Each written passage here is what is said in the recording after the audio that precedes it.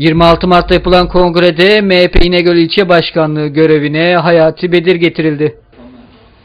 Kongre sonrası çalışmalarına başlayan yeni başkan İnegöl'de basın mensuplarıyla bir araya geldi. Ee, Milliyetçi Hareket Partisi'nin İnegöl'de şu an mevcutta 1437 tane üyemiz var. Biz üye sayımızı arttıracağız. Bunlarla alakalı çalışmalarımız var. Ki yakın zamanda e, üyelerimizle, teşkilat mensuplarımızla, daha önce bizle birlikte görev yapmış arkadaşlarımızla birlikte e, bir tanışma kahvaltısı takip etmeyi düşünüyoruz.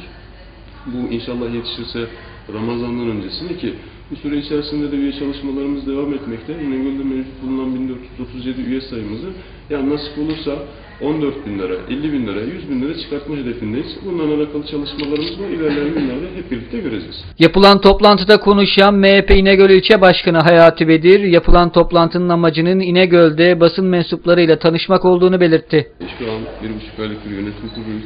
Resmi olarak ilk protokol ziyaretlerimize başladık Kaymakam Bey'le. Hemen akabinde e, Sayın Belediye Başkanı'nı ziyaret ettik. Ve akabinde siz değerli, e, siz değerli basın mensuplarıyla birlikte bir tanışma kahvaltı kahvaltısı takip ettik. E, İnegöl'e dair e, eksikliklerin e, giderilmesi için bizler buradayız. Sizlerin de yardımıyla. Biz elimizden geldiği kadar mevcut 37 kişilik yönetim kuruluyla e, yönetim kurulumuzla birlikte İnegöl'e nasıl katkı sağlayabiliriz? E, önümüzde hepinizin de bildiği gibi iki yıl sonra bir seçim söz konusu. E, seçimlere hazırlıklarımız devam ediyor. Mevcut teşkilatlarımızla daha güçlenerek, e, güçlenerek teşkilatlarımızla birlikte e, İnegöl'de mevcut bulunan Milliyetçi Hareket Partisi'nin oyunu nasıl yükseltebiliriz düşüncesiyle buradayız. Başkan Bedir daha sonra İnegöl'ün sorunlarıyla ilgili açıklamalarda bulundu.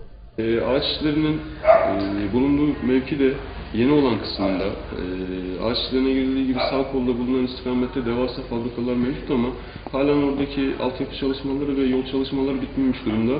Bu da e, ticari olarak ekonomimizi etkiler mi? Elbette ki etkiler çünkü İnegöl dünyaya açılmış mobilyasıyla dünyaya açılmış bir şehir. E, dışarıdan misafirlerimiz geldiği takdirde, hani ciddi yatırım yapacak firmalar buraya geldiği takdirde bu İnegöl'e hoş bir görüntü sağlamıyor. E, bir diğer sıkıntı İnegöl'de ciddi bir trafik yükü var.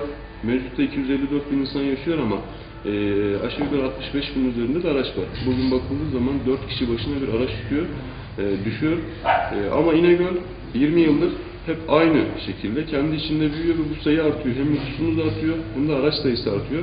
Muhakkak bundan alakalı İnegöl Belediye'mizin yetkili kurumlarının çalışmaları var.